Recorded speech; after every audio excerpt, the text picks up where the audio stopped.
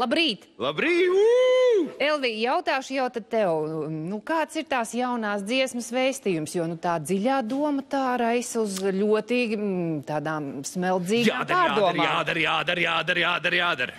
Ah, jādara. Jā, ko tu vēl gaidi?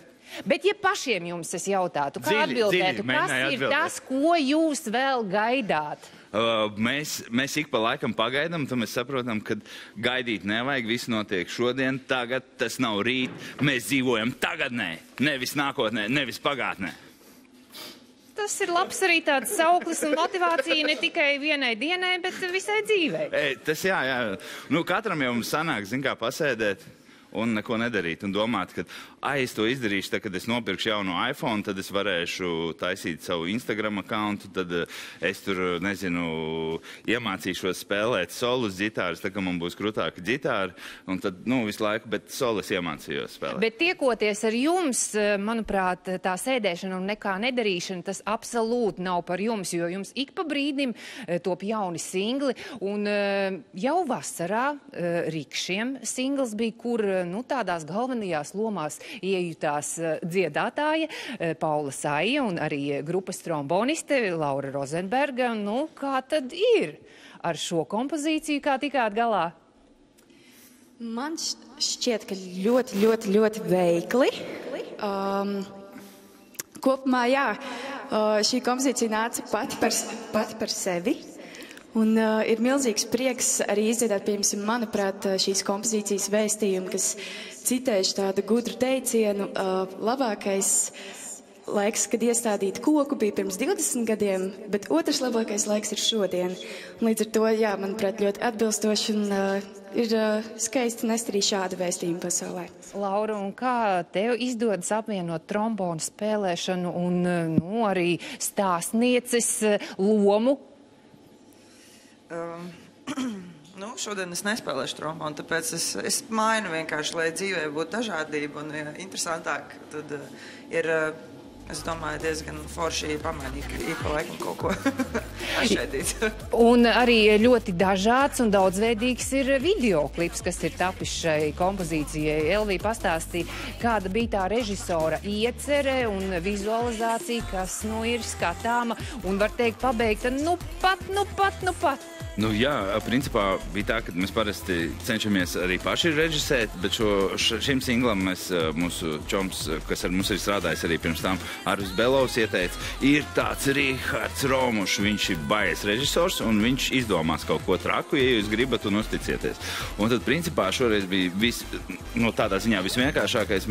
Viņš noklausījās dziesmu, pateica, tur un tur ir jābūt, tas ir, tas ir jādara, daboniet uh, ieročus, daboniet uh, busiņus, daboniet policijas mašīnas, un tad mēs visu to dabonam, un tad uh, un beigās jā, bija tāds. Uh, Uh, bija forši tas, kad kāds cits, kā viņš redzēja to dziesmu, jo mēs dro- droši vien pie šī tā klipa nebūtu bez viņa uh, tikuši. Droši vien būtu kaut kas atkal uh, mūsu stilā. E, Mūsu raidījuma skatītājiem jau šobrīd arī ir e, iespēja ielūkoties e, jaunajā videoklipā. Pēc brīža mēs dzirdēsim arī šo jauno kompozīciju. Bet es zinu, ka septembra sākumā jūs e, uzstājāties Berlīnē. Ar kādiem iespaidiem esat atgriezušies? O, tur bija, tur bija rīktīgi uh, labs pasākums. Mēs spēlējām vienā no tādiem zināmiem klubiem. Uh, tur, tā bija mūsu pirmā reize Berlīnē. Vācijā mēs esam vairākas reizes jau pirms tam uzstājušies. Mums uzticēja divas dienas, kad mēs darām, ko mēs gribam tajā klubā. Un, uh, Īsnībā tas mums visiem, laikam, grupai kopīgi bija viskarstākais uh, koncerts. Uh, mēs bijām visi slapi, jo bija uh, pilns klubs un, uh, piln, un nebija gaisa kondicionieru. Jo Vācijā nu, tur elektroenerģija taupa un viss kaut kas tāds. Līdz ar to nu, jā, bija tā, ka mēs pilnīgi slāpi bijām. Man pirmo reizi man bija tā, ka man bija ķēdes slāpis no koncerta. Tāds e, slapjš, bet ļoti jaudīgs. Slāpis, bet ļoti jaudīgs. Jā, un tad mēs tā kā turpinām nākošais gads, turpināsim sadarbību. Mēs atkal brauksim. Uh, ah, vēstniece bija tur, atnāca arī ietusēt. Visi atnāca ietusēt. Labi, kādu jaudu piešķilsiet šim rītam? Ko, tu vēl, ko tu vēl gaidi? Un mēs spēlēsim dzīvajā. Un tad, jā. Un mēs tādu klipu skatīsimies, vai dzīvēs. Mēs tagad spēlējam dzīvajā. Ko tur suflē? Ko tur suflē? Jā, jāstrādā, Jā. jādara, jādara, jādzied.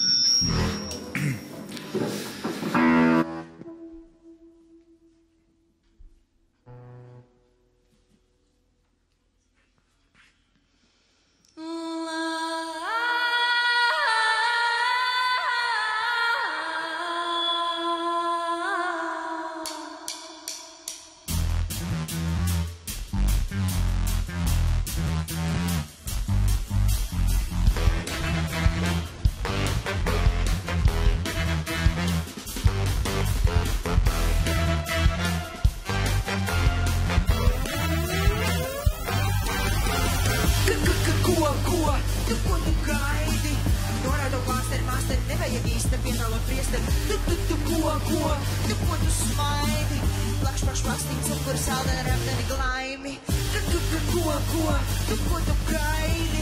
Norādu plāsteri, māsteri, nevajag īsti piežālot priesteri. Tu, tu, tu, ko, ko, tu, ko tu smaidi.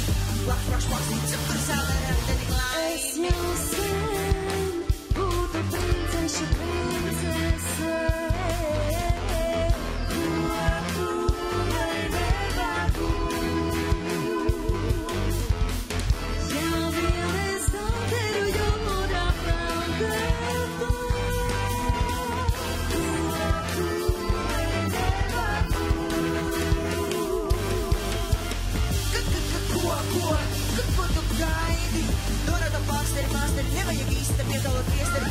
Tu, ko tu, tu, ko tu, tu, ko tu gaidi? Pacel siemšas pārāk un sākas to